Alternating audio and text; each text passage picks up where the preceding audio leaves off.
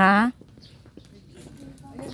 Dito kami sa ano, farm ni ano, ni Sir Mr. Romeo katakutan sa farm niya. Pasel kami. nag inquire kami dito. Ayun si Ti, ano. Oo, sila ah. Siya yun, si Romeo, ano. Ay, ang cute oh. Ito yung mga, good morning po.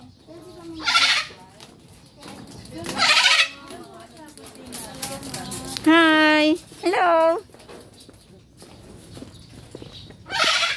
Good morning po. Good morning po.